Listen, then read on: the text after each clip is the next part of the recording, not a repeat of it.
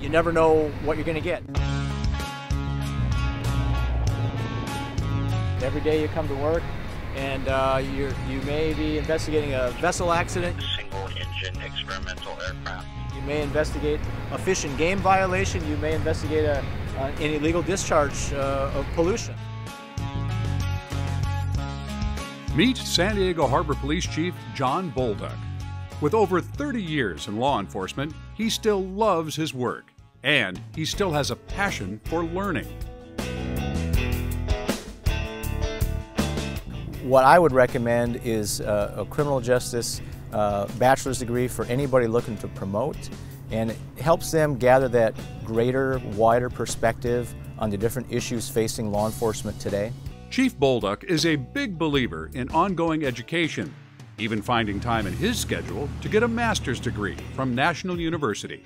Well, one of the things that National does really well is they bring a lot of adjunct professors in who have actually worked in the field.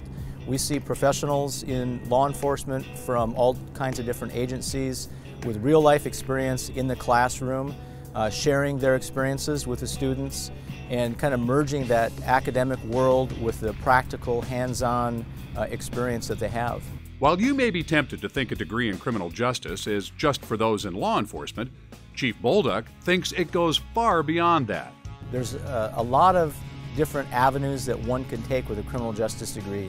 One of the great things about criminal justice study is that it's about problem solving. It's looking at challenges from different ways and applying different uh, methods to, to solve those problems. And that's just not unique to policing, that's unique to the private sector as well.